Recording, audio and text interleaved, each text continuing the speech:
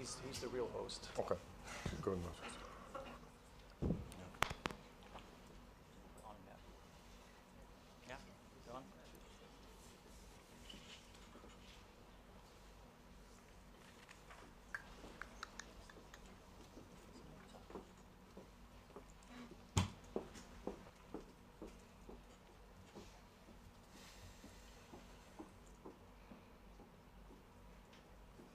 Sorry.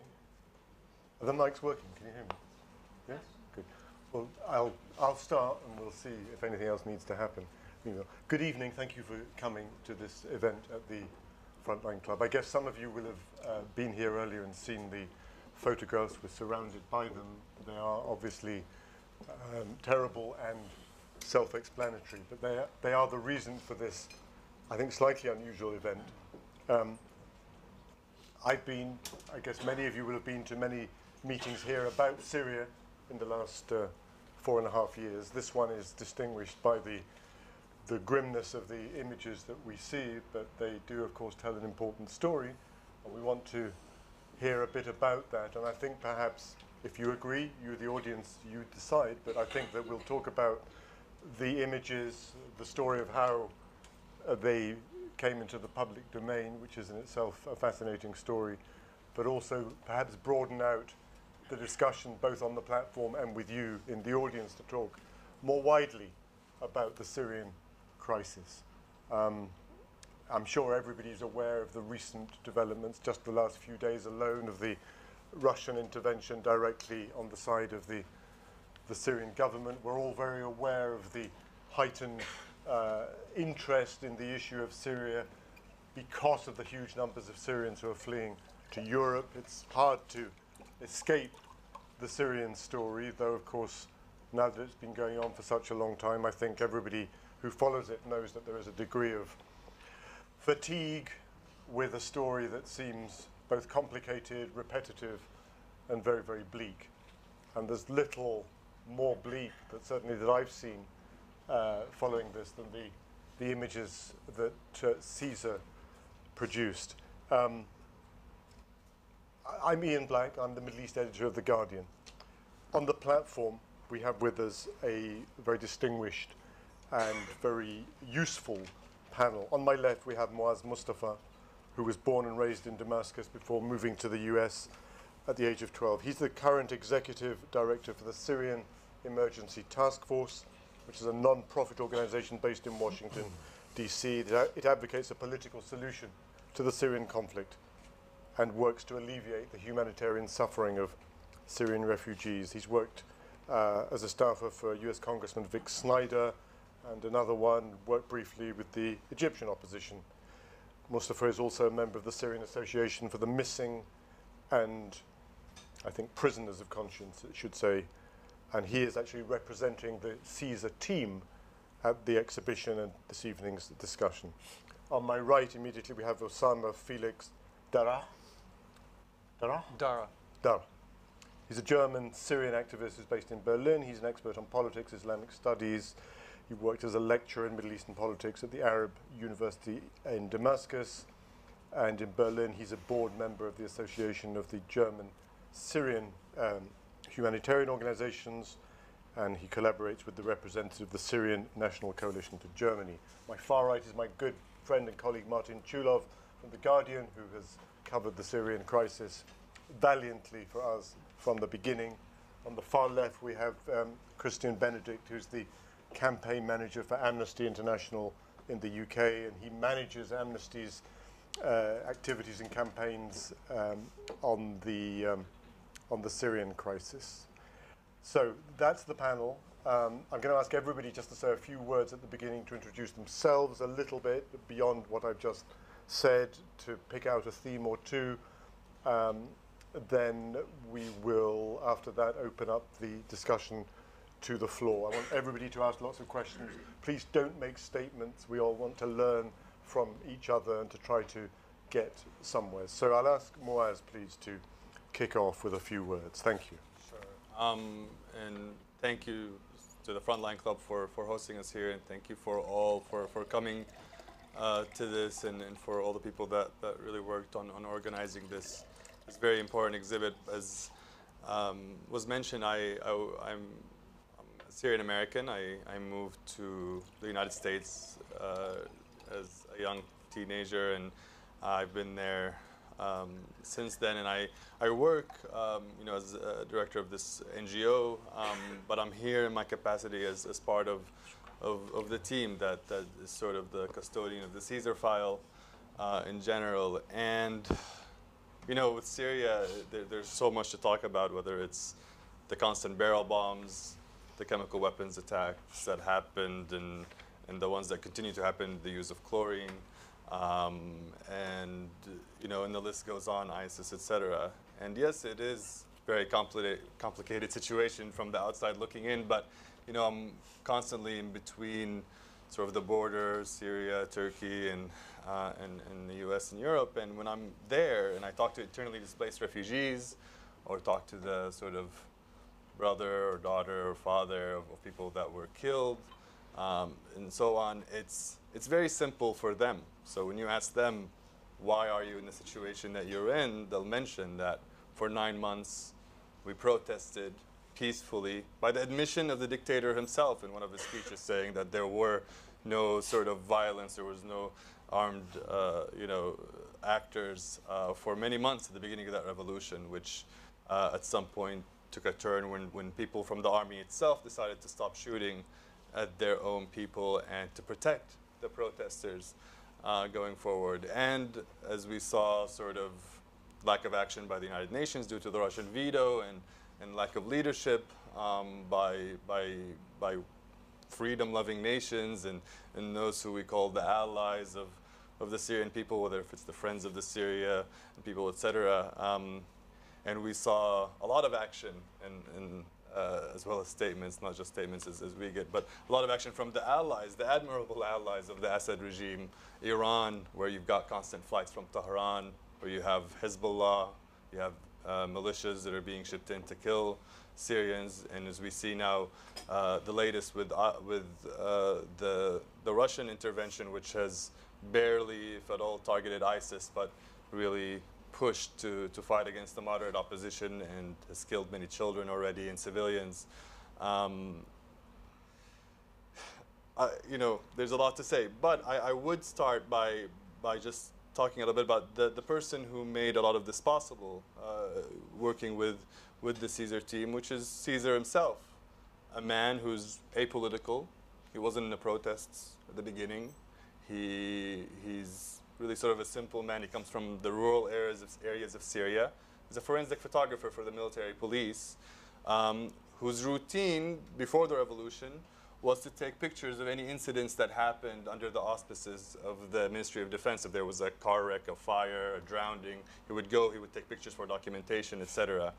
And one day in 2011, he was asked to go to the military, one of the military hospitals in Damascus and take pictures of uh, death incidents, ones that were told, you know, uh, the pathologists that were ordered to say died of natural causes. Uh, all of a sudden they stopped breathing or there was a heart attack and so on. And realized that the people he was taking pictures of that first day were 15 men, women, and children, civilians that were tortured to death.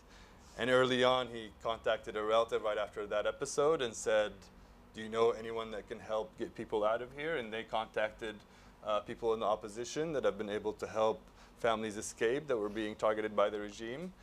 And uh, of course, you know, the offer for help was there and, and the question of whether you'd be interested in doing this a little bit longer and collecting this evidence. And it was his decision to stay. And for him, uh, again, someone who's looking at this from much more simplistic point of view, he wasn't looking at accountability and justice and what prosecutions could take place. He wanted families to have closure, to know what happened to their loved ones. He himself has seen some of his own neighbors, etc. He was taking pictures of them after being tortured to death, and their own families back uh, in his village, etc., didn't know what had happened to them, and he couldn't say anything about it. And, and that was really sort of his main drive to do what he did. And for two and a half years, he snuck out flash drives he was a military policeman, so as he went through rebel held territories or the regime, he had a, a, military and a civilian ID. He was in danger really for his life from everyone.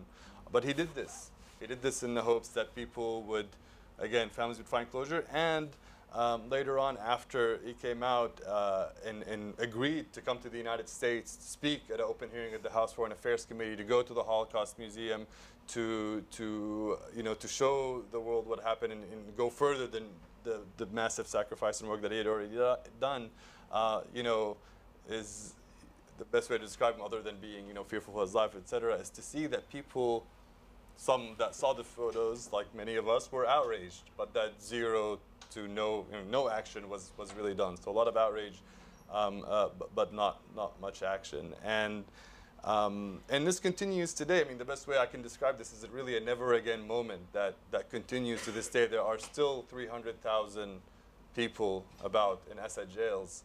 Um, many Syrians would tell you that their own families are missing or know that they are in Air Force Intelligence or Palestine branch or one of these different uh, intelligence branches run by the Assad regime. And you see their children, their women, their elderly people that had nothing to do with anything uh, that were stopped and had to face this fate. And even though justice is important, accountability is important, but we can't bring the, these people back. We can't bring back their lives, they're gone. But we can maybe try to prevent the other 300,000 people from suffering the same fate. You know, we talk about the refugee crisis, and a lot of people are paying attention to, to Syria now because refugees are coming to Europe. And it's sad, you know, we, we pay more attention to it because they're coming to Europe, and now that's the national security issues and economic issues, etc. Um, the Syrian people really do feel deserted by the international community. Even when people care about them, they care about them because it's, you know, based on their own sort of interests. Um, and you know, and, and, the story sort of goes on. The barrel bombs go on. The, the refugees and the population displacements go on. And even though ISIS, the other sort of uh, oppressor of the Syrian people that has come in, uh, one that, by the way, if you YouTube how many people are fighting ISIS, you'll see that the, the, the Syrian opposition and the Mawalid rebels have fought ISIS since day one. Before fighting ISIS was cool back in 2013 and so on and you know they're and we see the regime barrel bombing these populations. We see we see Russia itself doing so. Uh, and so, although they're no friends, ISIS and the regime, they do have a mutual interest, and that mutual interest is to counteract uh, what's really the biggest threat to them, which is the Syrian people. So, thank you, Maz. Can I ask you, Christian, to, to talk about as we're here, we've heard about Caesar and Yeah. we've seen the images. Tell us, if you would, a little bit about what it's like to work on a human rights issue in the context of the Syrian crisis. Tell us a little bit about public opinion, and and uh, it's interesting. I actually, uh, before I come to that, I just Sure. wanted to. There was a point I thought you were going to, and you didn't, which is around the justice and the accountability issue, which Ian wants to talk about, which is what mechanisms do you want to come out of this? You're involved with the French uh, investigations, I understand. That's actually a really good opening, I think, and that might actually give a little bit of optimism to the debate. I mean, the recent investigation recent of the French and. French, Yeah, Do people know about that? against Can you humanity. explain a bit? I don't think a lot of people do know about it, but I think you're a guy Sure. who's very much behind. it. well, well, I could say that you know we the- the Caesar photos when they first uh, were all sort of compiled and out uh, were given to a third-party country in Europe, neutral to the conflict, Yeah. uh, and they were given the permissions that they can give these photographs to national courts, regional courts, international tribunal, or future Syrian court post-Assad. And we've pursued since then the identification of individuals, contacting their families, and finding out um, who are willing to bear witness about what happened, etc. And so Ambassador Stephen Rapp, who was here earlier, um, has played a really a major role in, in going out there and talking to prosecutors. I can tell you Germany, uh, as well as the French, uh, there's an effort in Sweden, uh, in Turkey as well. Um, many of these countries we're looking at them for universal jurisdiction. They're willing to let us sort of present cases, especially if there are refugees there now uh, that have family members that have identified. But we're also working on identifying dual nationalities, so people that have a European nationality or a U.S. nationality that we can then start national courts. And, and we've started to see at Amnesty uh, footage coming to us, photos of uh, alleged refugees who are here in Germany, for instance, or in other European countries, who are alleged to be members of uh, militias, including actually um, people who are party to what happened uh, in these in, in these torture dungeons. So that's going to be an interesting dimension for Amnesty and other human rights organizations and other international justice mechanisms to be looking at as well. Where, because, I mean, you, you touched on it a little bit there. You know, the international community has failed. You know, there is no ICC investigation. That's obviously largely because Russia and China uh, blocks that. But it is important to keep the focus on the impunity that is driving this conflict. The fact that it's people committing war crimes in a culture of impunity, people facilitating those war crimes, uh, lots of people justifying the war crimes, actually, and, and, and a large amount of people turning a blind eye to the war crimes. That's probably one of the more difficult things when you work in an organization like Amnesty. How many people are actually quite okay with this? They're quite blasé. They say, no, no, no, you know, this is too difficult. Realpolitik, we need to talk with uh, the regime. We need to bring them in. We need to put that aside because there's, there's bigger issues uh, in play now, which is actually a quite disgraceful position to be taken. Those uh, officials, no matter how, how high up they are in the command structure, uh, if they have been party to committing or commissioning grave violations, as we can, can see in these horrific photos, they need to be held to account. How they're held to account, there's many ways of doing that. Uh, we'll, we'll, we'll flesh that out on the panel uh, itself. Obviously, Amnesty would like to see some form of international justice mechanism triggered. Uh, but as I said, at the moment, Russia and China are blocking that, and it seems quite, I wouldn't say unrealistic, but difficult at the moment to see something like an ICC investigation triggered.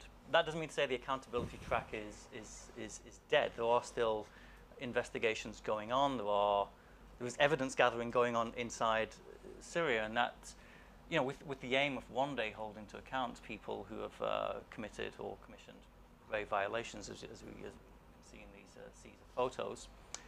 Um, and those need supporting, whether it's the UN's International Commission, uh, the, the, COI, Commission of Inquiry, or uh, the Commission for International Justice and Accountability. These are really important. They need more support to enable them to do their work. But right now, it, it is difficult. It is. It can be quite demoralising. You know, Syria is fragmenting within this culture of impunity, and you know, you couple that culture of impunity with a culture of fear, and you have this really toxic mix of a kill or be killed attitude, which is driving Syria further into the abyss. So belligerents and their commanders and politicians around them need to be put on notice that one day there will be some form of justice, some form of international justice mechanism, if only to act as a deterrent against what we see uh, in, the, in these horrific photos. We're a long way from that, but that's where I would say the focus needs to be. Inevitably, I think in the discussion we're going to go on to the wider, Okay. Wider Thanks, issues. Chris. though. Martin, you, you- when, when the Caesar story came out, I, I'm just going to blow, not my own personal trumpet for a minute, I'm going to blow the Guardian's trumpet. We, we published the Caesar pictures with CNN when they, the report came out in January 2014. And I'm not blowing it just for the sake of blowing it, because to show, I hope, that there's an important interaction between people who are pursuing uh, uh, justice in the very difficult setting of Syria and the international media. I think Martin would agree, let's talk about that in a minute, about it's very difficult as journalists covering Syria. It throws up endless challenges, difficulties, dangers, and, and problems. So, Martin, January 2013, at that point, we were already, what, two and a half years into the war. I just wonder what your reaction was when, you know, in the context of the things that you'd seen, experienced, and reported on until that point. I thought that the publication of these images was actually a, a defining moment in the sense that uh, here was here was a, a time where there was undeniable evidence, uh, clearly verifiable proof of industrial scale killing going on uh, on, on behalf of one side.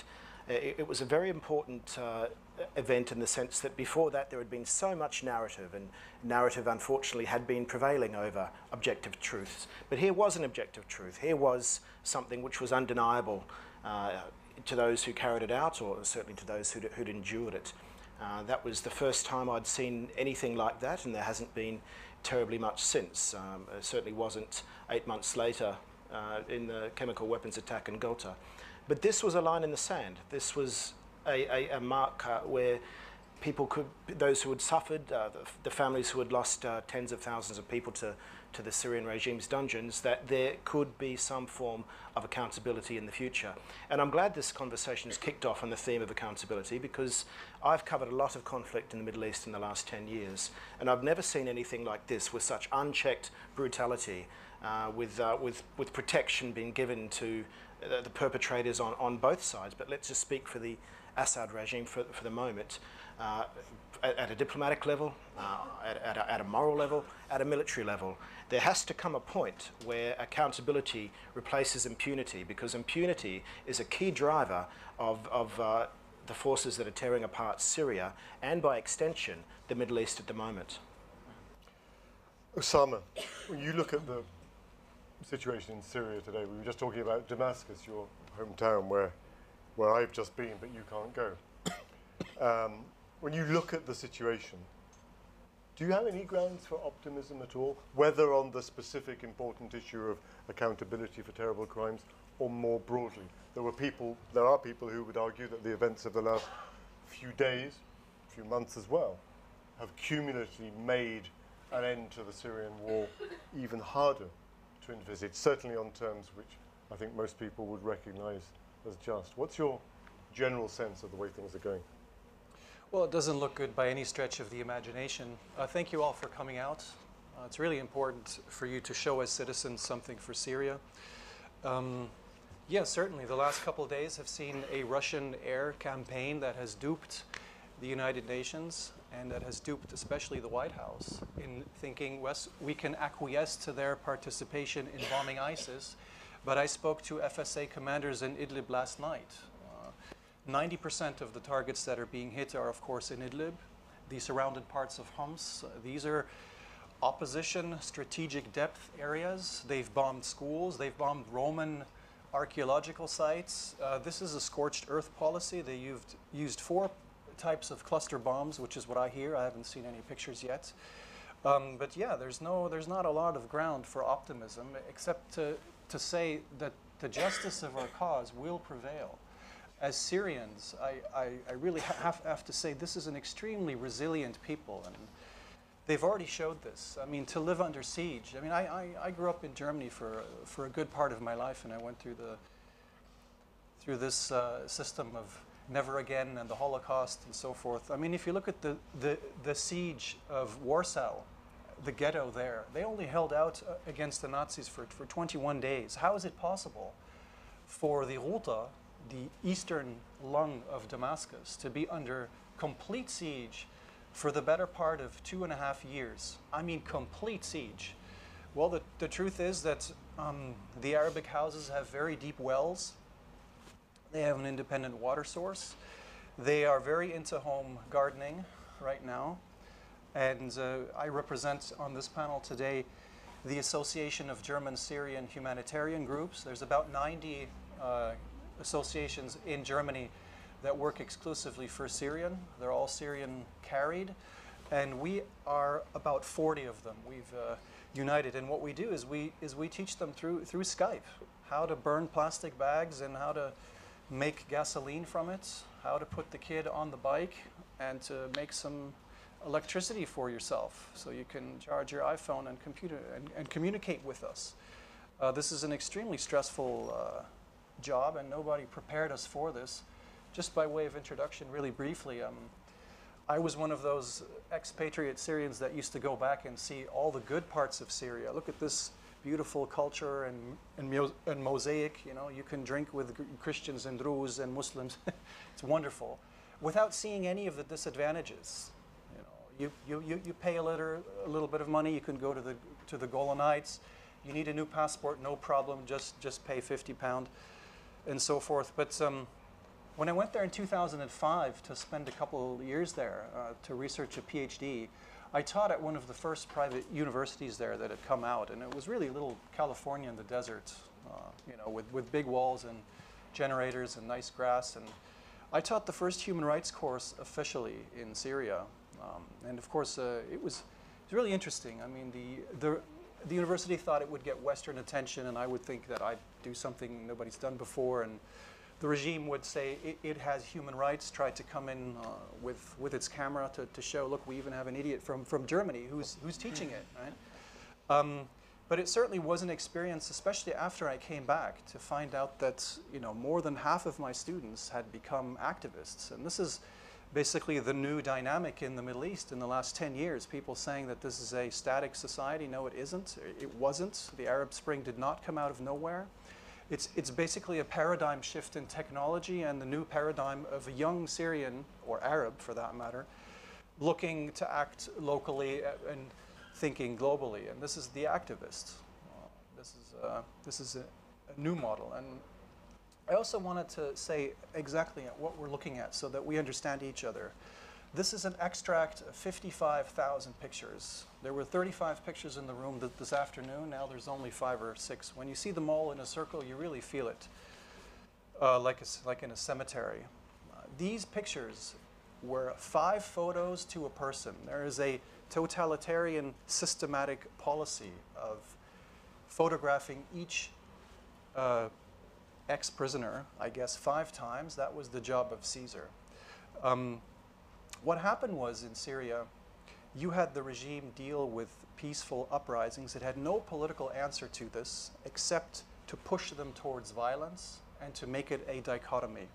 And th- this hasn't changed. Putin is trying the same thing now, basically pursuing Assad's policy that we will have ISIS or Assad to choose from. This is a very, very dangerous thing, not only for us as Syrians, but for your security also. Um, and what the regime did at the time is set up a central crisis management cell that set up in itself basically committees all over the country to arrest anybody who could be suspected of being an oppositional person. I mean, for discussing, I think The Guardian wrote, uh, arrested for discussing the events in a negative way would be enough to get you into the system. And as a Syrian, you know, whoever goes into these into the hands of the mukhabarat will not easily come out. Um, so there's a, there was a pipeline there. Uh, the dangerous prisoners who had uh, a military background, who were affiliated with the FSA, who were doctors or so forth, they were immediately killed. And I think there's a difference here to what the diff- to what the regime had been doing before. Torturing to extract information is different than torturing to kill as many as you can possibly get your hands on. And this is what, what we see here. Did that start straight away? That did When start straight away. The, the CCMC was set up in August. This was Ramadan 2011, Ramadan. Uh, it was set up there, and that's when five, we had five months or so five since months the beginning. into it. Yeah. And there were arrests b- before, but what we see is, is an, in, an industrial pipeline of people, people being arrested anywhere in the country, being processed, tortured right there. Okay, he's important. Send him to Damascus. And like I said, there's, you know, my own family went through this pipeline, part of them, having nothing to do with anything. Uh, they just en- ended up there. Um, and it's important to note that this, is a, this has a bureaucracy behind it. Each of the carcasses has three numbers the number of the prisoner himself, the number of the handling mukhabarat unit, and the number of the coroner or of the medical person who forged his death certificate, saying that he did not die of gouged out eyes, he, he died of a heart attack. This is what, what we see 10,000 fold. So, this is the reality of what happens in Syria. Uh, I'm very much looking forward to discussing this with you, but also to hear what, what we can do about it. Can I ask that? I want to. You make that very important point about the, the way in which most recently Putin is encouraging this narrative about Syria. The choice is simple between ISIS, Daesh, people who behead others and behave with terrible barbarity, and Assad on the other. Now, Assad, okay, you know, not great, but better than the alternative. And that narrative, the choice, it's not only, of course, from Vladimir Putin that you hear it. You hear it a lot in this country. You hear it a lot from people who are respected commentators in the media. You hear it a lot in the discourse about what this country, whether this country really matters or not, leave it leave aside. But whether this country should should it deal with the really bad guys or the less bad guys, and it's an important part of the discussion. What, how do we how do we deal with with that? It's important to amplify and support and fund, in, in some senses, those. Uh, they're going to be opposition elements primarily uh, who have a vision for Syria which is, from our perspective, based on human rights, based on our understanding of what security and stability uh, is about. That's certainly, you know, in, in 2011 when, when we started really ramping up this work, we talked about having solidarity with people peacefully demanding their human rights and others' Sure. human rights and defiance against those trying to stop them. Obviously, you know, when things get militarized, um, and, and, and when the regime is deliberately targeting protest leaders, human rights activists, there's, there's a number of them still still disappeared. Um, and these are the brightest and the best, and that's a deliberate strategy, coupled, we should say, as, as our Syrian colleagues would be able to attest, releasing a number of people from, from prisons in, in mid 2011 who would change the colour of the uprising. Certain jihadist uh, individuals who were, who were detained uh, previously. It's, it's a blunt strategy, but it's also a smart strategy to, to deliberately change the colour of the uprising. But it is important to be mapping out and engaging who are the Syrians who do want to bring about an effective transition based on rights, based on justice, but based on human rights and based on justice, which is about fair trial standards. We know not all Syrians in the opposition are like that, and we've got to be honest and clear about that But as well. Miles, can we, do we, are we, can we be confident that the, the, the mainstream, I use a slightly artificial word, but the mainstream Syrian opposition is committed to rights and to justice, and that there is a middle ground that gives the lie to the false dichotomy between Assad and Daesh? Absolutely. First of all, you know, we're, we're saying we, we have this choice between two evils. The fact is that there are three parties to this conflict. There's ISIS, there's Assad, and there's uh, the Syrian opposition, which I call honestly the Syrian people. I, some of my work with the Syrian Emergency Task Force, for example, is to go inside and to work with, help nurture these civil governing structures that are rising up across these liberated and contested areas. Um, and you see from the ground up, at least they, you know, so, you know, some of these councils are trying sort of at least pseudo-democratic elections. Uh, I remember one time I went inside uh, a village called uh, al-Jawz. A day after it was liberated, um, it was torched. It was burned by, by the regime as they were retreating. And first shocking thing was that people from Kilis camp in, in Turkey wanted to go in right away. So I'm going back into this village with these villagers themselves. Their houses were all burned down, and they had captured about 300 Assad regime soldiers. I was so angry at what I saw in this village. Uh, seeing every home torched and looted. Just, you know, why would you do this? You're retreating, at least leave it as is. So, so angry myself that I, I was just imagining what they would do to these 300 prisoners. Uh, they must, they're going to eat them alive. And then I went and I saw that they're sharing their flour and, and their food uh, with these prisoners. They were keen on making sure that they uh, feed them and keep them uh, safe until they can be taken to a civilian court. Uh, uh, that, that would be that, that was there was one set up in, in a village a few kilometers away. Um, and and I remember to this day, 75% of those three, 75 of these 300 actually joined the, the, the local mil- militias in that area, the co- local opposition, um, just out of the treatment that they saw. And what was heartbreaking too, by the way, when I was there, I went and visited the prisoners, and so I was asking well, you know, what happened? Someone hurt you? Where are you from? Etc.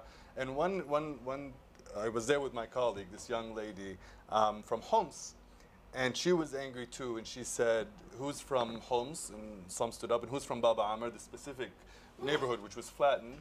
And somebody raised his hand. So he came up, and she asked him, "How could you be part of this regime? Your family must be dead. Your whole neighborhood is no longer exists." And and and and there, I, it was really heartbreaking because the, the young man said, "Well." I had no idea. We, we, we, we don't even have access to our phones. We're here, we're, we're gone for a long period of time. So, you know, you, see sort of even those regime soldiers that, that are being sort of drafted, that are, regardless of what their background is, um, that, that are forced to fight for, for the throne of, of this dictator. Another thing I want to add in terms of is there, for example, a, you know, a moderate option? You have 3,000 715 or so defected officers from the Assad regime. These are officers that served in uh, a, a secular regime army for a very long time that were left out to dry. Nobody supported them. Some of them are uh, in these camps right outside the borders. Others are inside still fighting. Um, but if that's not a secular guarantee of even an armed element of the opposition, I don't know what is. I mean, that's what the what these guys represent. And as um, Kristyan said, you know, they they don't release someone like General Harmouche, but they do release somebody like Abu Khalid Suri, who's part of Al Qaeda, which was really sort of a planned thing. And to this day, ISIS um, is made up less than 10% of ISIS is actually Syrian. I mean, these guys are not Syrian; they're Iraqis and other foreign fighters, etc., that are there. What About Jabhat al-Nusra, that we hear a lot about. Sure, Jabhat al-Nusra, as uh, you know, at its leadership, and it is, is is something that that is completely does not go along with the values of who Syrians are and, and what they want and why they came out for uh, in the first place. But look, a lot of the people that if, if you go to, to a local sort of area and you have somebody that wants to defend, he has no choice but to defend his, his area, and you have to choose between um, maybe a Western-backed opposition that barely by the dropper gets sort of support or someone that may pay them more or have something to defend with and they may choose to go with that. I don't consider some of those local foot soldiers that are there as someone who wants to have a khilafa or wants to uh, uh, and so on. Do you want to Can I add here? I think it's very important to understand what has happened in Syria. If I may just recap the chronology of escalation. You had the first six months where you have the biggest mass demonstrations anywhere in the Arab world. I mean, to literally come out and demonstrate in Syria under the threat of death takes an immense courage that you have. And you had that proportionately in the cities and in the countryside. This is an, this is an important element for Syria. Peacefully, obviously, yeah. I mean, we have the videos. If you look at the videos from Idlib or from, from, from Homs, I can see that there's literally more than 100,000 people from Idlib, which is a small town. It's everybody who lives there that, that came out. The counterinsurgency strategy of the regime was basically partly what we saw in Algeria in the 90s when the Islamists won the election, and that is to open the jails. They set out in Saydnaya prison. They had an incubator for Sunni jihadists that they were instrumentalizing against the Americans in Iraq. And the Syrian regime has a long history of manipulating jihadist groups all around. You see, you have Israel and you have Lebanon uh, and Syria. Those are the two players, and the playing field was Lebanon, obviously. So you, so you move around these small pieces, and you can never say uh, who is responsible for it if they do something. Now, in Syria, they opened the jails, and they did not only let out say about 600 Al Qaeda operatives. they also let out general uh, criminals, and they hired them for shabiha. This means Thugs. sort of it means ghosts in, in, in Arabic, but it's it's basically thugs. And these were the guys set upon the demonstrations. The demonstrators are, are, are there, they rush in with knives and stab them and batons. Meanwhile, you have anonymous shooters up on, on, on the roof. Now, in turn, you have a reaction from the crowd always, having people protect their neighborhoods from looting and their families, especially women. If you have women demonstrators there and you have thugs come, come in, it's something of a, it's an electric issue for, for Syrians.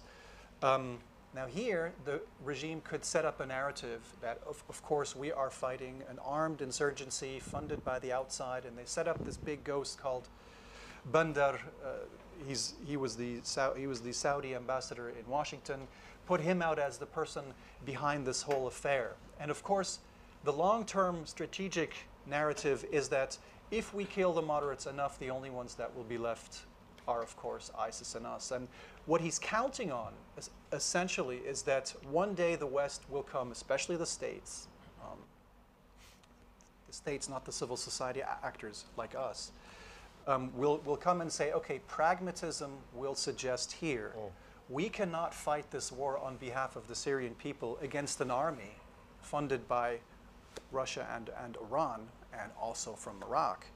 And it has militias from all over. It's, it's chaos. Look, we have to find somebody who we can deal with. We'll, we'll take the one wi- without, w- without the beard. Right?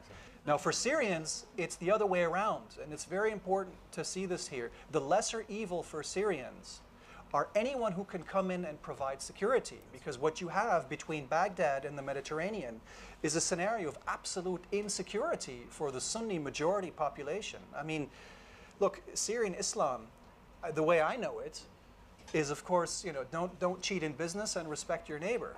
That's, it's, it's very sophistic and the biggest testament to that is that you have all these minorities emerge historically. They wouldn't be there if you had a radical Islam there.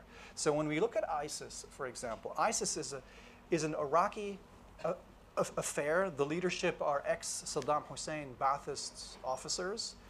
Um, in Iraq, they were demonstrating against the Shiite government of al Maliki.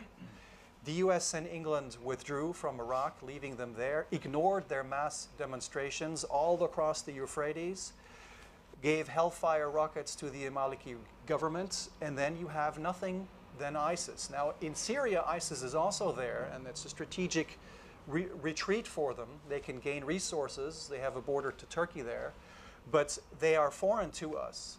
Let me, let me and stop you there if they, I may. no, they also, they also attacked. they, Syrians are stubborn, as you can they attacked the revolution. They killed Syrians. they killed a lot of the tribesmen there. This is not an issue that will be so easily forgotten. Their image is tarnished in Syria and they have no social roots. We'll come back to that. I just wanted to hear from Martin on this issue and then speak to, have a word from Hanan here, please. Well, the, the arc of evolution has been very, uh, our revolution has been very important, and I've had 13 up, up to 15 trips into opposition-held Syria since uh, since January 2012, and I've seen firsthand, along with many other colleagues, uh, the effect that this increasing Islamization of, of parts of the Syria, Syrian opposition has had, and how it ha- has actually been hatched.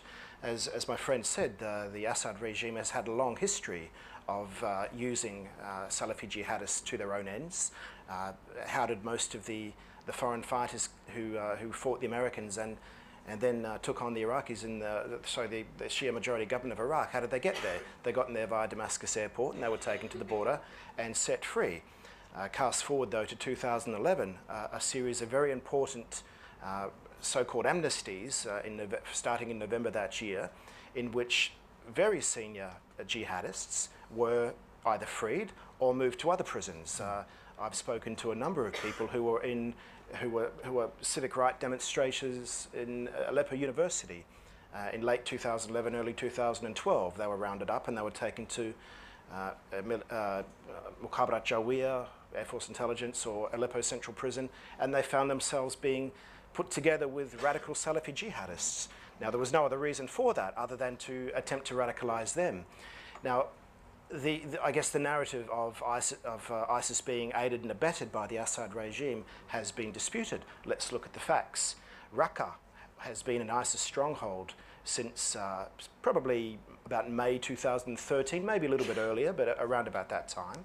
It wasn't attacked until June 2014 by the Syrian Air Force. Uh, early 2014, the, the opposition in the north of the country took on ISIS, uh, certainly around Idlib and Aleppo, in a six week battle that cost them 1,500 lives, bare minimum. And at that same time, the Assad regime maneuvered around the eastern edge of Aleppo. It did not join the fray, it did not join them in, in a fight against a common enemy. It actually took on, it used that as an opportunity to try and uh, close the, close the circle on, on Syria's biggest city. And to the strategic ends, uh, what were they aiming to achieve here? Look, the, the, the power of the people or the power of the street exposing the fragility of authority, as happened in early 2011 during these massive demonstrations all around the country, that was something that a totalitarian state simply cannot tolerate. It exposes how weak that they are, how weak they are. It set about at that point to make it all about jihad, all about ter- terrorism, because a popular uprising is something they couldn't counter. At the end of the day, when it did partly, not exclusively, certainly not, but partly become about a jihad, they were able to go to Europe and the West and say, look, we have a common enemy, help us fight them. And that's where we are right now. Now, thank you, Martin. So, Hanan uh, Belkhi is the representative of the Syrian National Coalition in Norway. in Norway. You want to say a few words, please? Are you going to speak in English or in Yeah, Arabic? I, I can speak. Do you want to come up here? Here, there you uh, go. Thank you very much. Okay. I want to stand here. um, good evening. Uh, uh, I didn't have any plan to speak here, but I, I, uh, I can uh, write from my paper. Uh, thank you for Frontline, uh, Frontline uh, Club for hosting, for hosting this ex- exhibition. Uh, my also thanks for uh, also for the panel, um, Mr. Uh, I'm Black and Moaz and uh, Kristyan and uh, Dr. Osama and uh, Martin. Martin. Yeah, for me it's very hard to uh, to look uh, at uh, photographs of this uh, torture, uh, but the pictures is uh, shows the reality in Syria. In addition, it shows the the reason ho- uh, why the Syrian people uh, uh, are going to Europe. Um, what what would you do if you were uh, a Syrian family?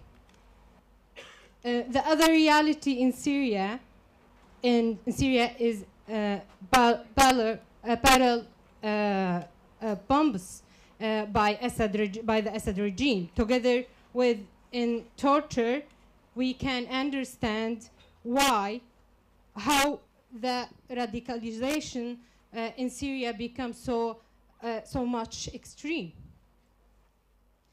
In the absence of international action, more than more and more Syrians are turning to the extremists uh, for protection. Sadly, Syrians, the Syrians, don't see other choices. Choices. Now, the UK and the rest of Europe are consi- consider- considering uh, their next steps on Syria. Some are calling to work together with Assad uh, in, the, in, in the fight, in the fight uh, against ISIS. For me, to hear this makes me very ill. very ill.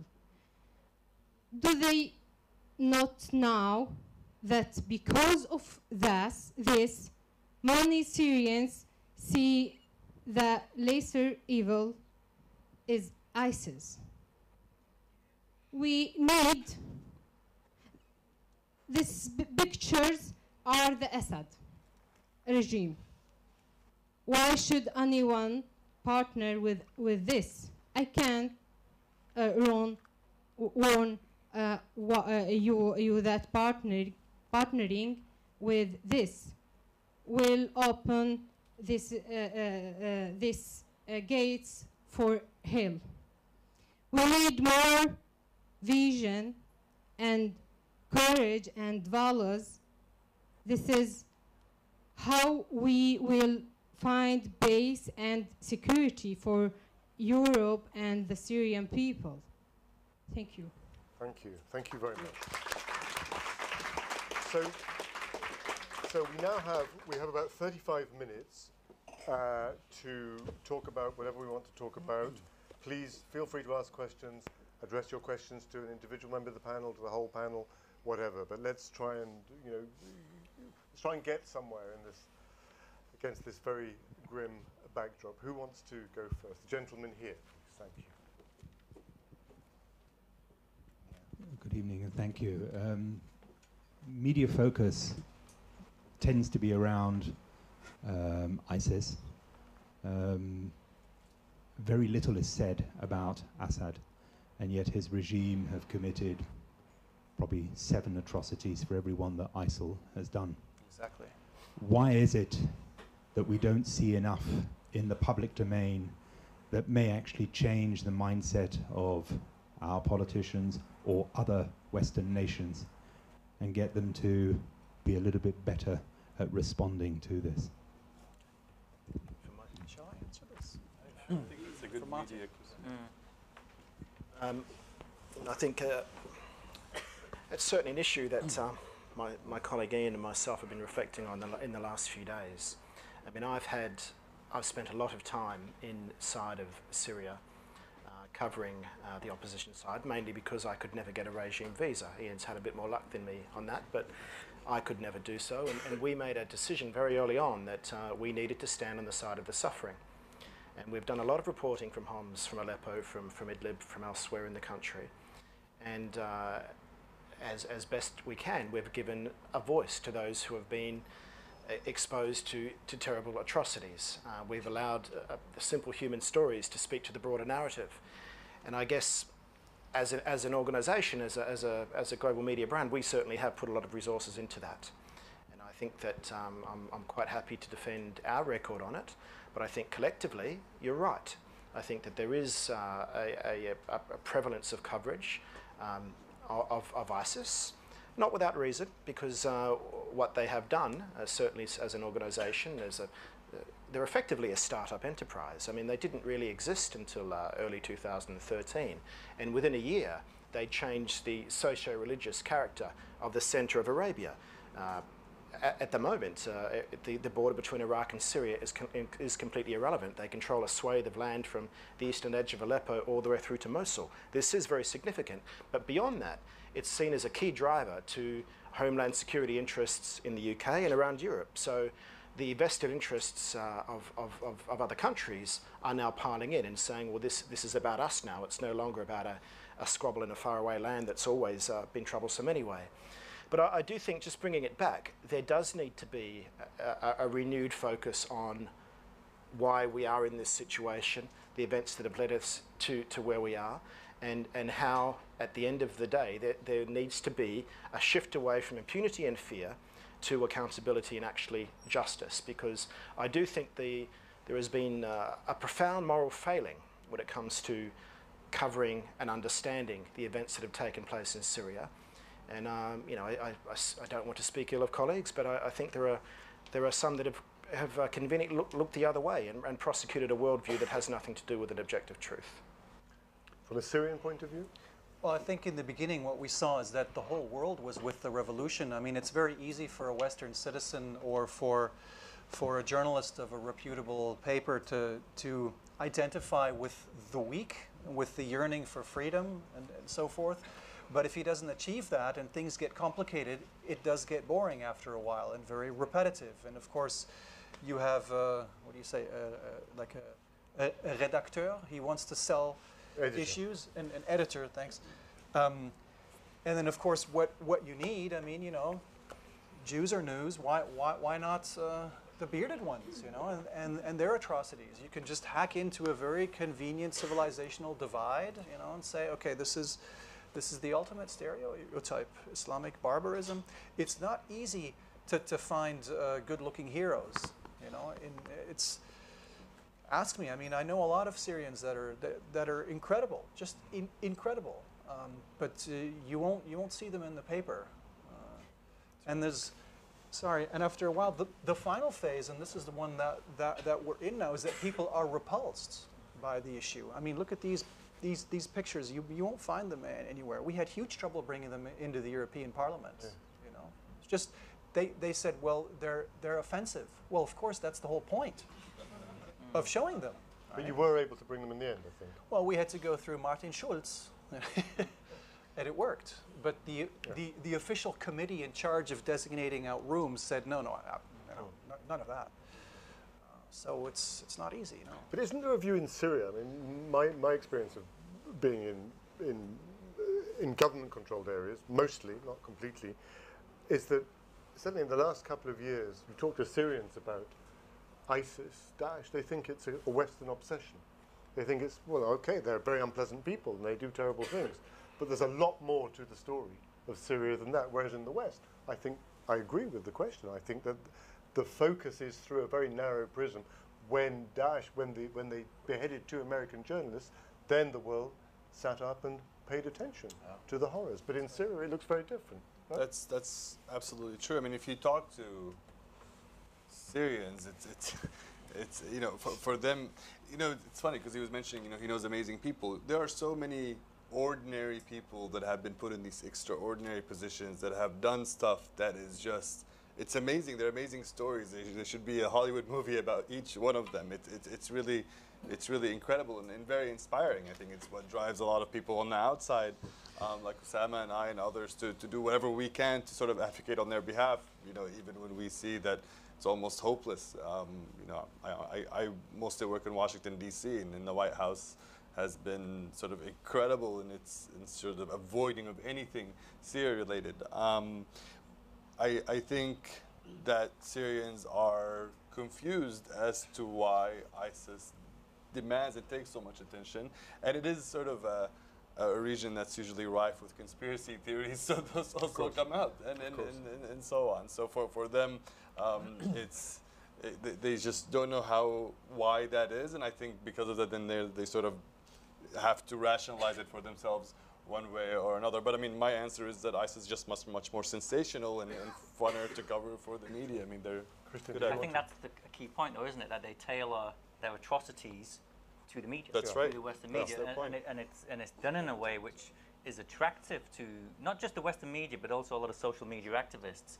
It's almost like when a new video is released on one of these servers, there's a race to find it and get it out there, and and and, and that's part of the phenomenon that they will use amplifiers, media amplifiers, social media amplifiers to get their their, their, atrocities out there.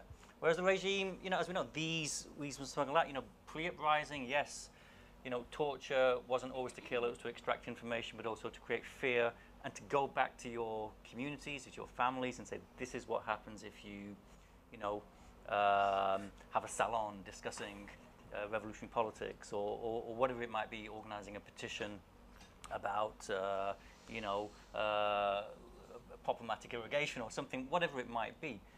And, and the regime has been very, very careful about closing down its atrocities. So that, you know, so a very good example, going back to the issue of uh, impunity and accountability, there is a, uh, a UN mandated commission of inquiry. The regime still blocks it, still blocks uh, human rights organizations like ours access to the country. I mean, we get in we, when we have to, and we have crisis researchers who can do that. Uh, and of course, it also blocks uh, humanitarian agencies as well. And that's a, another area, probably not going to have enough time to go into it, although it was interesting, talking about Eastern Ghouta and the siege there, that there, was, there is opportunities for people to be pushing the UN to, to break those sieges. They have a mandate to do that, they're just not acting on it. That's security situation, Well, it's a- If I can answer, it's, it's, it, it's a huge problem. I mean, the international community is hiding behind in, international law. And, it, and, it, and, it, and, and the fish stinks from the head, from the White House. I must say, it has declined and aggressively refused to exercise strategic leadership over the biggest humanitarian crisis since the Second World War. Syrians pose the largest single refugee population anywhere. We had 23 million when the issue began.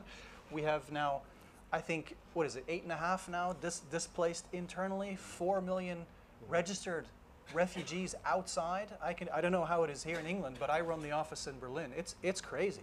It's crazy. Let's uh, let's have another couple of questions. lots of people want to. Gosh, Forrest and Hans. The lady with the here, microphone. please, with the microphone. Okay, Hello. possession. Good. Hi. Um, you touched on it just there, Osama. I work for a humanitarian organisation, and we have amazing Syrian staff inside Syria who are running networks of schools and hospitals, but they can't prevent things like this happening. Um, and I think it feels like people feel almost at a bit of a loss now about what are the next steps to take, what can we do, and maybe it's an impossible question, but I wonder, you know, your opinion on a panel of what should the international community be doing, whether that's pushing the UN to break sieges, or whether that's an accountability mes- uh, mechanism, or whether Oh. it's military action. You know, what are the steps that they should be taking? Thanks. Okay, Let's have two more questions, and we'll take them in bunches of three, as there are so many. Lady here, please. Um, and my, my question is twofold. Uh, it's one about how the how agencies can empower um, a voice for the Syrians inside because they are subject. There's a th- there's sort of double jeopardy for, for Syrians because I mean, as you say, Daesh is Daesh has its own uh, media channel and can communicate directly to the world, and it's very theatrical and they're phenomenal sort of PR machine.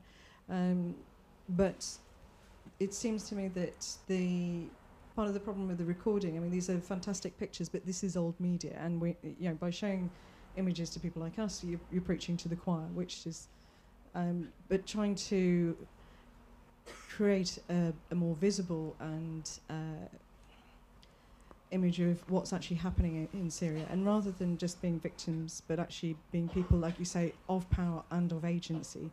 I mean, how can that be facilitated? Because there does seem to be two wars uh, going on, and one is that perhaps we can intervene in as either you know people like myself as you know in, in the media and my media colleagues and people in uh, different agencies is actually getting the message out and something that is sort of positive and rather than I don't mean that it's positive about the situation, but positive about the people Thanks. involved.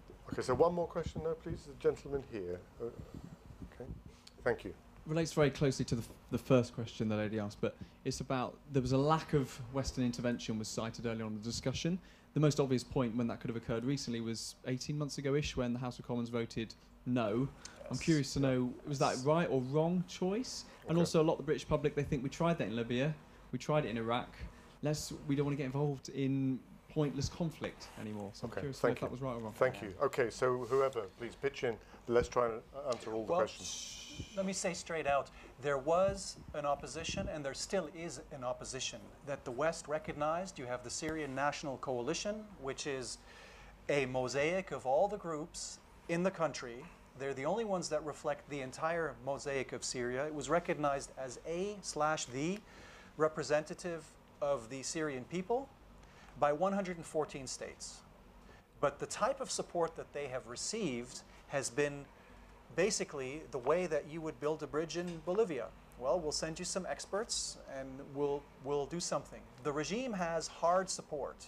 It has a veto in the Security Council, and there were three exercised over Syria, three double vetoes, in- including China. The whole history of the Cold War never witnessed that. And it has Iran, which was in there with militias. It uses a lot of its funds to get Shiite militiamen from Central Asia. I mean, we have people from, Af- uh, from Afghan prisons uh, that are fighting in, in Daraa on, on the border to Jordan. Very in- ineffective. But the regime has hard support, and we have a US president that, that, that does not believe in soft power, only when it addresses core issues or core interests of the United States. And Syria, according to him, does not belong to those core interests. Now, this has allowed for a power vacuum that has pushed in ISIS. The absolute insecurity will force the average Syria, Syrian to look for any group that will protect him and feed him. And Jabhat al-Nusra is a problem. They are homegrown Syrians, you know. Um, they say they are, they're al- al-Qaeda, but they have much more legitimacy than the West in parts of Idlib. I mean, I can speak to them on, on the phone, and I, you know, it's, it's, I'm incessant with it. Why do you call yourself Al Qaeda? You idiot. and he says, well, look, this is between me and my creator. You know, I, I, I have to do, you know, what I believe is right. I protect these people. Who are you to come and tell me of your values? You know, but the revolution and so forth, it's very hard. Right? But yes, I think it was a disaster. I think it'll be a blemish on labor for a long time to come that they basically stopped French fighters that were in the air to be joined by the English, and that basically made o- Obama uh, collapse on the issue of intervention.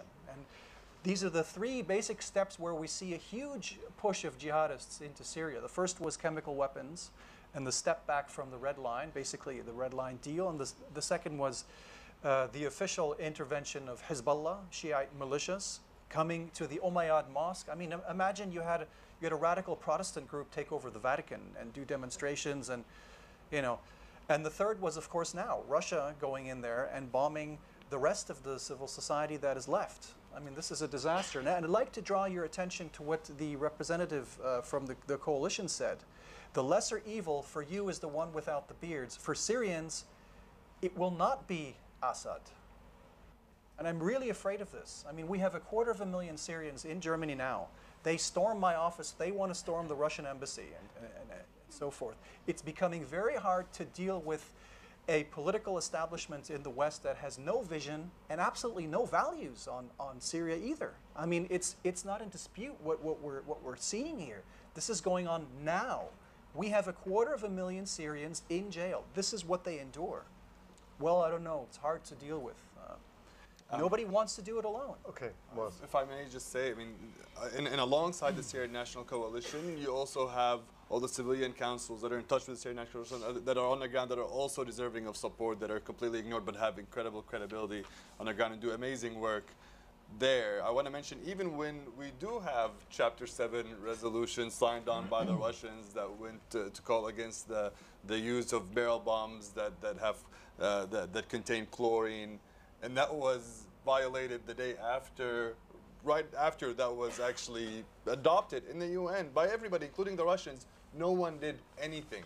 So, you know, we blame many times for all these different things the lack of, you know, the Russian veto and we can't go to the ICC. Because, but even when we did have that, it was documented. We brought a doctor from the ground, Dr. Tennari in Idlib, who treated this and put him in front of the House Foreign Affairs Committee. He was there and he was talking about this along others. And, and it really is disgraceful uh, to, to see. I, I, I know Samantha Power well. We met with her many times. And, and I'm afraid she's become a case study of, of her book. Um, you know, you asked of, what should happen and what could, could happen now. The very minimal that we can do, just the baseline. Look at what is the number one driver of, of, of refugees um, and killer of Syrians. Those are these crude barrel bombs. If anyone's not familiar with what they are, essentially giant barrels filled with shrapnel and gasoline that are there. And I've seen, I've been in Syria, I've seen the, their, their direct aftermath and, and what happens. Absolutely zero military uh, uh, sort of strategy for them, other than they do kill a bunch of civilians and children, etc., and they displace populations. Um, the protection of civilians, the protection of civilians from aerial attacks. That should be the that, that should be what everyone is pushing for. Um, you know, I would say the Syrians really do feel alone. So as much people that can talk about their plight. Sorry, go ahead. I'm sorry, I just, it, just to get to that point though, when you say the protection of civilians from aerial attacks, how do you do that? Is that, I mean, do you have Sure. to have a Well, look. zone? Do you have I- I- What's a I'm- no-fly zone? let me- No-fly zone to Yeah, sure. It's a No-fly no-fly zone. zone, and I'm not a military expert, and I can go. But okay, no-fly zone, however that is seen as traditionally, whatever protected zone, safe zone, what have you. The very minimum, these are, by the way, old. Soviet helicopters that are flying low that go and they've, you know, a guy with an iPad with Google Maps and then they just push the thing out and, and kill a bunch of people. There are 17 military runways uh, that, that these uh, helicopters take off. That's 17 Tomahawk cruise missiles. No troops on the ground, no sorties flying in the air. You get rid of them, and the rebels will be able to keep them from being rebuilt. That, at the very minimum, would save a ton of life. Not only that, it would actually, for the first time, show the world that, you know, if you go talk to Syrians on the ground, they think that uh, President Obama and the White House and the international community are on the side of Iran, Russia, even ISIS. I mean, that, that really is what they believe, and I can't even explain otherwise to them. You know, I know that, and, and I'm sorry, one more thing you asked about, uh, sort of the, you know, we see the, the media of, of, of ISIS and all this stuff. There are amazing independent media activists inside of Syria. One of them suggested something that's really powerful that can remind us not just of this old evidence. Um, he said, you know, what if there was an app uh, that went off every time a barrel bomb fell?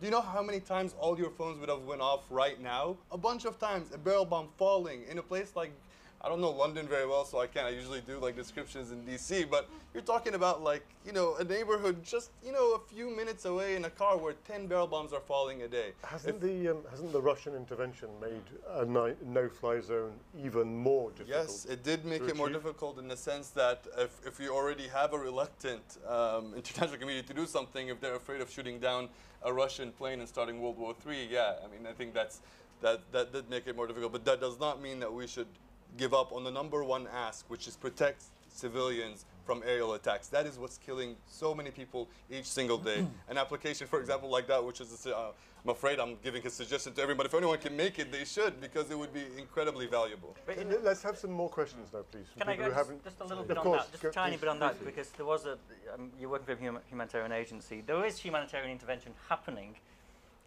with a UN mandate already under UN Resolution 2165, passed in July, something the regime opposed, something Russia initially opposed but came, came on board, and aid, aid is going into the country through uh, a couple of crossing points in the north, Bab al-Hawa and Bab al-Salam, and, and in the south, That's without the agreement of the Syrian round- government, without the crucially, consent, right? That's this is the important thing, without the consent of, of the regime, and that's something that actually could be built on because, as you touched on, Russia's intervention makes all these other ideas around buffer zones, air control zones, whatever you want to call them, much more difficult. Not impossible. It makes it more difficult. So, what is there? Is there a, without using a, a Blairite term, a third way? Potentially through the UN and through the humanitarian sector, which is already actually working. I think it's something like two and a half thousand trucks have gone in. Not one of them has been hit. Not one of them has been attacked. And what you're actually creating there are de facto humanitarian corridors when they're going in. What we would like to see is, is the UN taking a much more robust approach, using that mandate that it has, which is now 2165, 2191, to its logical conclusion and spending more time inside Syria and accessing more places, in particular some of the besieged areas. Places like Eastern Ghouta, like what 12, 13 kilometers away from, from Damascus. Right. The UN can hear the bombs going off, Yes. they can see them. And the same argument that we had and other humanitarians had in the build up to July 2014 when that resolution passed was look, you're, you're in Turkey. You can see the people, you can see the internally displaced people, you can see them being attacked. Go in. The, the regime has no sovereignty at these crossing points, doesn't control the crossing points, so engage with the armed groups at those crossing points, negotiate your access, do your risk assessments, get in, start delivering aid. They've been doing that and they've been doing it quite successfully. Governments, particularly the UK, France, the US, and others, they need to be impressing upon the UN that they have the mandate to do that. If it means increased protection for the UN, that's what it means. But I think more imaginative ways are needed to immediately protect civilians because the no-fly zone discussion has been around since what August 2011. It's not happened yet. Okay, and it's got harder. Okay, so three more questions, please. Uh, Ahlam here, please, at the front, and then we'll have a couple from over there. Uh, I know how difficult would it be to deal with Bashar al-Assad. Uh, uh, it's like uh, the rapist, uh, the raped woman marrying her rapist. It's it's hor- it's horrible. But for a transitional period, do you think that there would be a consensus within the opposition to accept him for a transitional period? While, because one of the things that is seen in the West, and I can see it everywhere, is the, the fractionization of the opposition. I mean, you, you don't seem to be speaking in one voice. You don't have a coherent uh, proposal for international community or something. So would you would you accept uh, uh, uh, during I mean dealing with Bashar for a transitional period of let's say six months, uh, as well as putting your vision during this six months as how to you are going to run the country uh, on the economical level as well as uh, Okay. policy Thank political. you. Thank you. Thank Ahlam. Okay, so we have this lady here that's been asking for a long time. I have a question that actually goes along with this transitional period. What mechanism of transitional justice do you want to see happen in Syria? What do you find would best suit the Syrian people? We see the the uh, the different war crime tribunals or the truth commissions that were in South Africa. What do you think best suits the Syrian people? And if there is a, a trial, if that's the mechanism that you want to see, how soon should that happen? Because we know after conflict, collective and individual memory naturally is forgotten over time. So, in order to maintain those narratives and make sure that those people are heard, how soon do you see that happening? Thank you. Okay, so we had somebody over here, lady at the end there. Thank you. Thank you. Um, first of all, thank you for the panel, which was really interesting. Uh, my question is Don't you think the media somehow have a responsibility in, we were saying before, the media are not showing atrocity committed by the Assad regime, they are showing just atrocity committed by ISIS. The media are not showing at all the, the opposition, the National Syrian Coalition. I read the news every day on Syria. I studied Middle Eastern politics, and I have no clue where the Syrian opposition, the Syrian people, are, as you were saying before. And for what I can see, um, as the representative from the Syrian coalition said, um, I understand for Syrians seeing more of a threat ISIS than uh, the Assad regime, for a Western perception, the only two things that we see are either Assad or ISIS, and we see as uh, less evil uh, part of the conflict. Assad, we don't see the good part of the conflict. There's no way. So I guess like I don't even think governments have the chance to see that that much. Maybe uh, military intelligence of things like that, but not even the government knows of the existence of, of a credible existence. on Thank you. field. Thank you for that. So we have some questions about the important questions about the attitude of the Syrian opposition to transition, Assad, justice, and then the media again. Please. Should I start? Go ahead. Um, the opposition, where are they and why are they so fractionalized? It's very difficult because they have to set up a type of balance system between all the groups there the Christians, the Druze, the Alawi, the Ismaili, the Turkmen, the Cherkassi, the Dagestani, and all these different groups um, have to have a bearing. This leads to a very fragile system in itself. Uh, they were voted in by the local councils all over Syria. It's actually the only opposition in the Arab world that, that has achieved that. Um, and in addition, the situation has been so horrendous that they've only been able to react. You'd basically put out a statement, uh, send somebody there, talk to them, and not to really plan proactively. Now, of course, there's the opposition called the National Coalition, and then there's the interim government. The central political mechanism was that there will be a transitional body, a government, with full executive powers. this was the basis for the Geneva discussions. Um, and of course, yes, the government um, in, is there in Damascus. It holds the power over the state. It hides behind its sovereignty. And the opposition challenges this. this. They have gone to Geneva twice to discuss with Assad this transitional period. And I was there, you know, I mean, you basically have them making proposals. Okay, we could have a government with the following people. These are our, our lists moderate people that you can accept, or technocrats and so forth. And the regime, under foul language, will just swear at them the whole time. And Lakhdar al Ibrahimi, the UN uh, special envoy, told me this personally. He said it's a, it's a shame. And he apologized in, on, on Al Jazeera television to the Syrian people. There was nothing that I could do. The regime is intransigent. There's nothing that makes that gives any type of hope that this will be different in the future because a transitional period for Assad will become a permanent presence for Assad under Russian protection. Russia is not there to fight ISIS. They are there to keep something called Syria in some part of Syria under its control and to have a main say over who will be in charge. Um, in terms of the opposition, they have gotten support by Qatar. Now, the, the Gulf countries have helped quite a bit, um, but it's been cash on and off, the tap on and off. That's very difficult to deal with when the opposition leaders and their families. I mean, I know, for example, Faiz Sara, one of the political committee, they called him on the phone, tortured his son to death. Now, this is very, like, a scenario like that to be a political leader and to have vision is very difficult um, when you have no structures. You have to have a regular flow of money. You have to have the ability to, to, to build up services. And again, in Syria, whoever feeds you can, uh, you know, they'll, they'll, they'll believe in you and they, and they will follow you.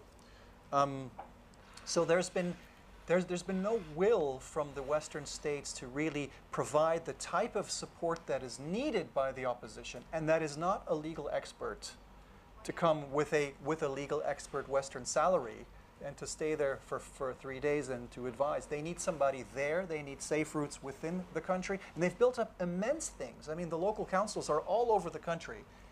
As soon as they build them up, they've been bombed. I mean, our civil society groups now, we have, we have uh, work in all parts of the country, even under ISIS. They are bombed as soon as they stand. I mean, the children's hospitals in, in Daraa, I can show you the maps. Uh, um, so, in terms of what, what can be done, and I think this is the key question, um, we've seen how thin the layer, the civilizational layer is, and how, how it can dissipate. I don't want this to be reproduced here.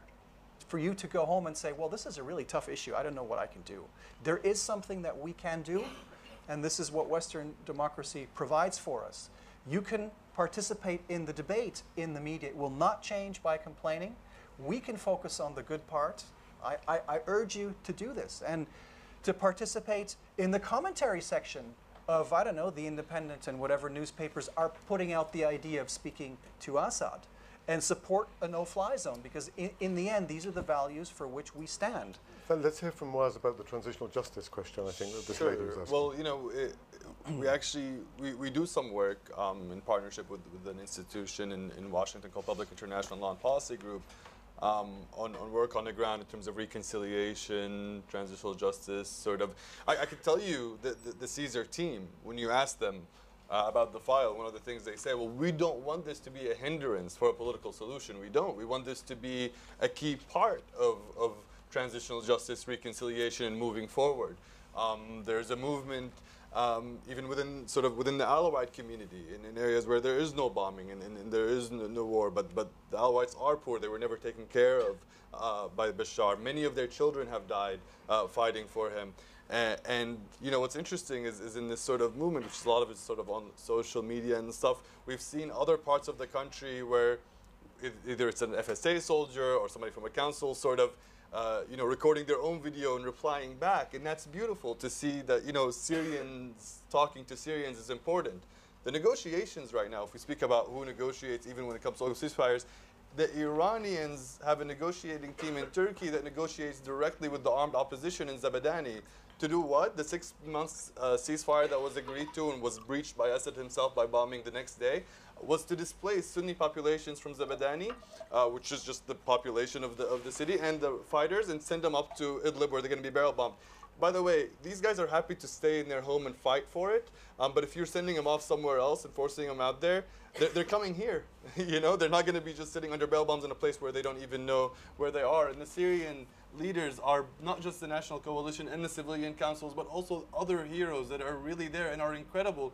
I don't know why people don't know about them because they're willing to travel, they're willing to risk their lives to get out and talk and come back in. I, I mean, Dr. Tennari came to the United States. He treats people uh, on, you know, after the barrel bombs and could have stayed and asked for asylum, but he went back to Idlib where he's bombed regularly. There's a town, small village in Idlib called Kafranbel, a very uh, beautiful. They, they do these amazing paintings. The woman that you see there, uh, we identified, by the way, she's, she's a pharmacy student from Deir Zor who was in Damascus. In Damascus, you have a bunch of internally displaced uh, refugees living in parks, essentially. She was providing them medicine uh, and, uh, and food and so on. That was her crime. That's why she was tortured to death. And they drew a picture of her in the same way, but sort of with flowers and, and things. It's beautiful what they do. And, and so their stuff is out there, but the media is not interested in covering that. They'd much rather talk about Baghdadi. Um, and, and finally, you know, to your question, Assad has come out recently, I, I read it, and, and, said that he doesn't want to negotiate for now. And Assad in Geneva, I'm not part of the Syrian opposition coalition, but they did a magnificent job in Geneva. And, and Brahimi himself came out and said, I mean, this guy wasn't interested. The fact is that Assad was counting on a military victory. And so he wasn't willing to negotiate. And when he's weak, he doesn't want to negotiate because he believes that he's in a weaker position, so he'd rather not. And, and so we're stuck with a regime that's just hopeless. And now with the Russians in, he's back at the military victory thing. So that's not even an option to even discuss in the first place whether he should be part of, you know, and as you said, it is the rapist speaking to the woman that, that he raped. So it should be Syrian to Syrian dialogue between uh, leadership within the Alawite community, within other communities in Syria, uh, to Syrians, that we see it starting up at the grassroots level, but it needs to be moved over to sort of an Oslo on Syria that takes away the Iranian negotiators and the Russians out and let Syrians talk to Syrians. So we're really out of time, and I'm sorry because it's been a very vibrant and interesting exchange. I think I'd like to ask everybody on the platform just to say a few final words, perhaps with a message, gloomy, pessimistic, optimistic, or whatever. And of course, we can all meet and have a drink in the bar afterwards and carry on discussing things. Martin, do you want to? I just want to ad- address in general terms uh, what the gentleman was asking before about what we should, what we may have done in 2013. I do think one of the fundamental dynamics dynamics in terms of the the uh, international diplomacy in in this whole conflict has been the way the different way that Obama has projected his administration. Um, he he has he's, he's he hasn't wanted to lead on this. There hasn't been any attempt to strategically lead.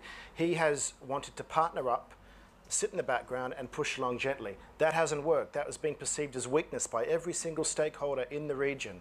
Uh, it was never going to do anything other than add a very potent variable at the most vol- volatile time in the Middle East for the last 70 years, in which, rightly or wrongly, the US had underwritten the regional security order. It hasn't done that anymore. It's not doing that now. And we talk about vacuums. ISIS has filled one part of it. The, uh, you know, the Russians are in there behaving with impunity. Iran is, is, is, is doing it likely. The, the Saudis are flapping about it and saying, well, what do we do next?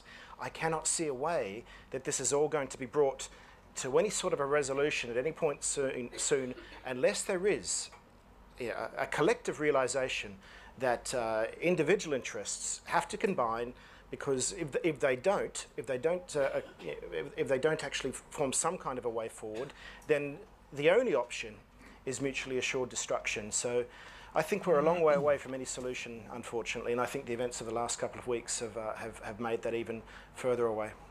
Kristyan, any, any Um, cheery final thoughts? I mean, I can say some cheery things, but I'll just going back to that Assad point very, very briefly. Outside of the ethical and legal arguments, which is where some of Mamsi would probably be talking from, just from a logical perspective, Assad's a warlord amongst other warlords now. There is not a, just think logically, there's not a chance in hell he can run that country as a president of the whole country anymore. And that's Not been the case since uh, late for a very, very long time. He can't go on some sort of charitable tour like he used to in the old days up to Idlib or down in, in or, or whatever. That's not going to happen. So he's a warlord in, and it's possible that what the Russians are doing, if you look at where their strikes are, is possibly carving out uh, a future mini state uh, for Assad. Possibly that's speculation. Don't want to go into it. In terms of sort of the sort of signs of hope, it's difficult now with what with what Russian Russian uh, intervention has done. That's kind of changed the dynamic and may well have killed off the Geneva process, quite possibly. Even the Syrian coalition, which are the most moderate of moderates, to use that term, are promising harsh, brutal measures against the Russians. You know, and you're seeing a coalescence of groups that were. It was very difficult for them to work together in the past without going into all the names of the groups, you know, and that actually plays into the narrative of Russia and, and Assad. So there's a bit of a trap there. But where has there been international agreements? Let's look, go back to those Security Council uh, resolutions where there has been agreement and to look at uh, where some element of hope is, where you can build on those. And the one I mentioned there is because someone from the humanitarian sector mentioned it, is one of those. You know, we can talk about transition, justice, civil society, justice mechanisms, all we want. If there's no security on the ground, none of it matters. So there needs to be security on the ground with the primary focus of civilian protection. And I do think it needs an impartial third party on the ground doing that with a very, very robust mandate. And, you know, the UN have been quite reluctant to go down that. They don't want to shoot their way in, obviously, but standing back from Syria and looking at other conflict situations like maybe Central African Republic or the DRC, we, we can see that the UN, when it wants to be robust, it can go in with force uh, to protect civilians. Uh, it's not ideal, it's not well resourced, but th- there's something there because, as, as Martin was saying, this isn't going to end anytime soon. This is a, a very long conflict, and, and civilian protection needs to be the priority. And some civilian protection measures which are advocated may well make the situation uh, far, far worse, actually. Sean, last word? Um, well, uh, hope is not a strategy in itself. Um, so we need a no fly zone, and I would ask you to support it. We need a no-fly zone. You got to stop at least the aerial bombardment of civilians. You call it whatever you want, protected, whatever makes you feel better about the term, but that's what's needed. And, and I can tell you, you know, one danger that, that we haven't reached, but, but that's big, and I wanted to mention it before, is that, you know, the majority of the Syrian people, and I abhor talking in sectarian terms, majority of Syrian people are, are Sunnis, and if, if, if these Sunnis start looking at each other as an ethnic group rather than a religious group, then we're looking at, at a real danger, and then uh, and, I mean, I can go into details, but I'll, I'll, I'll stop there because I, I, I want to say that it- that's too grim. I want to say that when you go to Syria, when you cross the border and you meet these kids and these people there on the ground, or the ones that are doing urban farming, or the ones that can only sneak in eggs but no chickens, so they figure out how to incubate the eggs to keep them going. These people are hopeful, and these people believe that even if the world has deserted them, um, that, that they will be victorious with the same core values that they had at the beginning of that revolution. And I can tell you for the United States, for the United Kingdom, for Europe, the na- our national values in these countries, uh, our national interests and our values are actually aligned. I, it's, it's hard to me to understand why we're not acting to protect civilians, and, and a no-fly zone is, is definitely a, a, a great start. Thank you all. Thank you to the panel.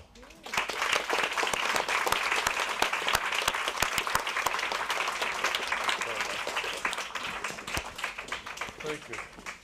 Thanks.